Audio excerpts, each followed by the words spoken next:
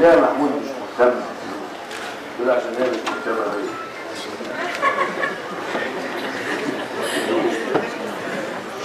في طبعا معلومات من الشريط اللي إحنا شفناه ده عدد الأفلام طبعا. اولا شافني بالسينما مش طارق شافني بالسينما فايز غالي.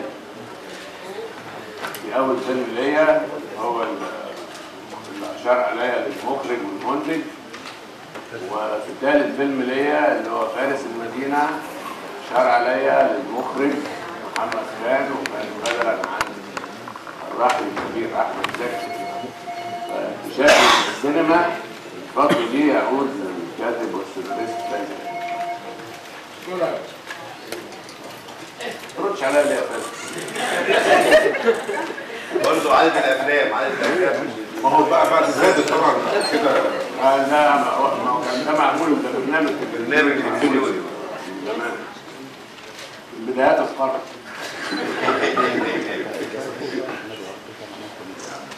طبعا يعني لم أستطيع أن أخفي سعادتي بهذا الحضور الكريم ولا اللي اخذته الجمعيه أو قرار جعلي أحد المكرمين في هذه الدورة. رغم إن أنا قال الاستاذ اسامه يعني كانت التكريم دي أنا ما كنتش مش فاهمها.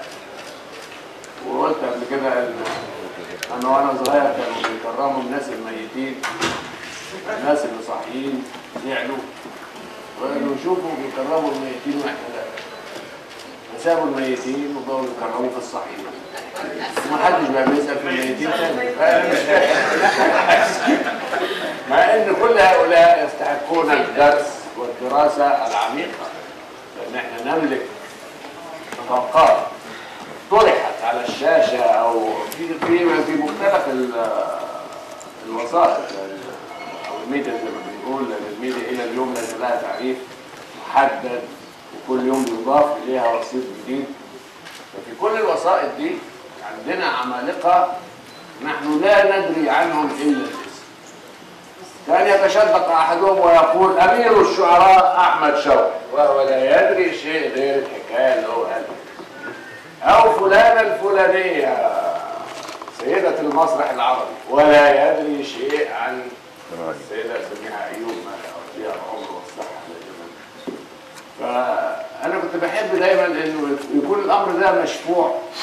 بالدرس والدراسة ولكن اسفا في كافة الأحوال وده إلا من بعض الأشياء زي مثلا أستاذ أسامة كاتب عن شخص ضعيف أو أستاذ اشرف غريب كاتب عن عن إلهام شهير يعني حاجات حاجات حلوة ولطيفة ولكن لا ترقى إلى موقع الدرس والدراسة. فعشان كده بس أنا كنت يعني أنا بقول لك ادينا حاجة. مش حابب ولا مهتم خالص لدرجه ان مره فعلت على شخص يعني هو مصر عايز يكرمني. أنا عايز اكرمك يا سيدي. قلت له طب سيادتك عايز تكرمني ليه؟ قال لي عشان انت راجل شريف ومش عارف إيه وعمال مش إيه قلت له طب يا عم التكليف بتاعك إمتى؟ بعد بكرة؟ قال لي آه. قلت له أنا بعد بعده هروح إسرائيل. إيه؟ تروح تعمل إيه بقى؟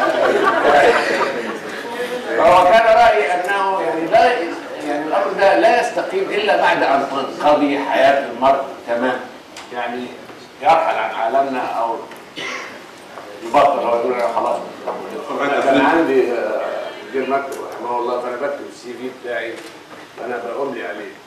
قلت له آه، ودخل الجامعة في سنة 69 70 وكليه هندسة.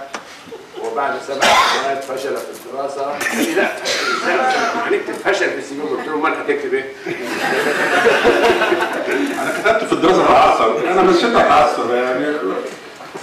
ف من الحاجات طبعا الف- الفيديو واقف عند 2006 طبعا الاستاذ محمود قدم بعد كده ست أفلام آخرهم 2008 تلك الأيام أحمد غانم واحكي شهرزاد.